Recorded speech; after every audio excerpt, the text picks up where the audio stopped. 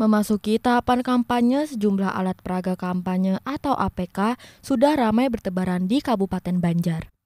Namun sayangnya, pemasangan peraga kampanye banyak yang diduga menyalahi aturan karena dipasang di tempat yang terlarang. Salah satunya terpasang di area pendidikan atau pagar sekolah.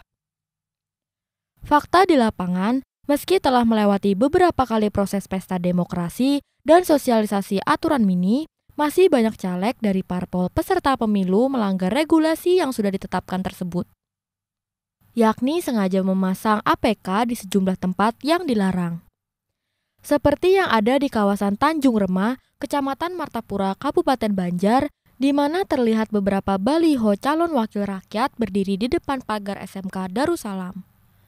Ketua Badan Pengawas Pemilu Kabupaten Banjar M. Hafiz Rida mengatakan, Selain diatur dalam PKPU nomor 15 tahun 2023, lokasi penempatan APK sudah ditegaskan dalam SK nomor 334 yang dikeluarkan KPU Kabupaten Banjar pada November 2023. Ya pastinya kalau terkait soal APK yang kemudian diletakkan tidak sesuai dengan penempatan maka sudah dipastikan itu melanggar karena kan di dalam aturan tidak diperkenankan atau tidak diperbolehkan di antaranya itu di fasilitas-fasilitas sekolah hmm. nah, khusus hari ini memang di lingkungan sekolah juga termasuk nah, hmm. tentu kalau memang itu nanti bisa kita buktikan bahwa memang dicek di lokasi memang terbukti melanggar tentu nanti dari tim dari panitia atau dari, dari pengawas kecamatan akan langsung ke lokasi untuk mengcross check terlebih dahulu hmm. jika memang terbukti maka tentu akan kita jadikan sebagai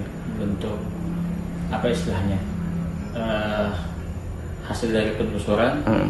akan kita berikan teguran sampai detik ini sebelumnya entah ini di lokasi yang sama hmm. cuma kayaknya kalau melihat dari video itu di lokasi yang berbeda sepertinya tapi jika memang itu memang apakah itu barangnya baru ya hmm. makanya tadi mau kita telusuri terlebih dahulu kalau memang itu baru dipasang, nah maka sesegeranya tim dari panitia pengawas kecamatan akan sesegera mungkin untuk terjun ke lapangan. Insya Allah hari ini kan kita minta.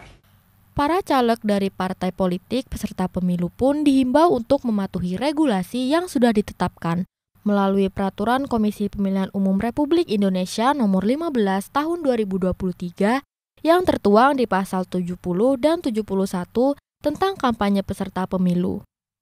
Suhardadi, Duta TV, Kabupaten Banjar.